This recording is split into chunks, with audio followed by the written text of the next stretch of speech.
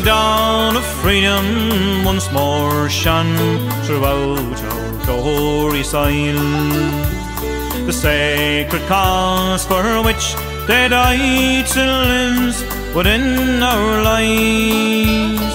Ireland, mother, Ireland, you bore a bitter loss when you lost eight noble Kerrymen at Ballyseedy Cross. 'Twas on the cold spring morning in the second reign of Tans.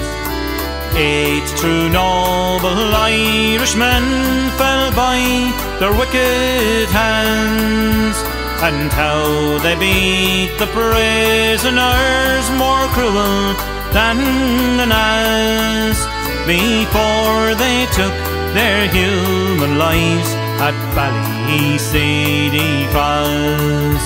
And how young Fuller's life was saved, only God alone can tell.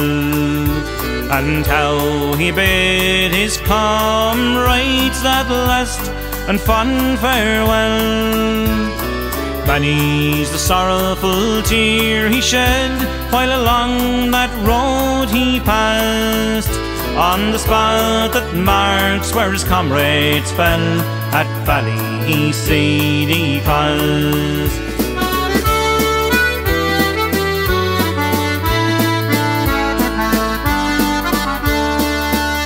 Here are the names of the martyrs dead who fell on that sad day.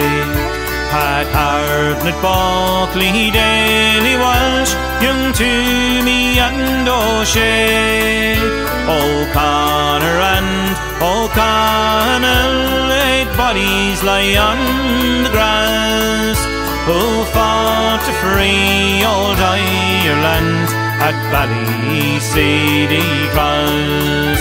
Sleep on, sleep on, brave Kerrymen, in your lonely prison graves. From Castleisland's lonely glens to Clashmealcon's lonely cave, you gave your life for Ireland and never bore a loss on the bloody road at Easter week at Ballyseedy Cross. On the bloody road at Easter week at Ballyseedy Farm.